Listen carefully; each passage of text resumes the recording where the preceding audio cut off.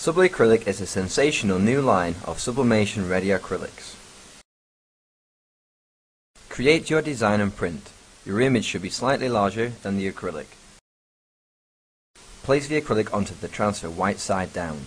Make sure the acrylic is centralized and tape it into position using the heat resistant tape. Cover with a sheet of silicone rubber.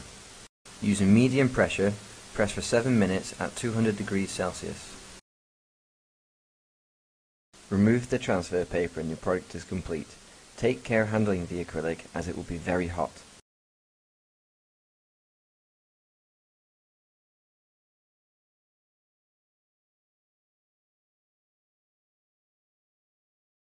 These instructions are to be used for the full range of Sublicrylic shapes and sizes.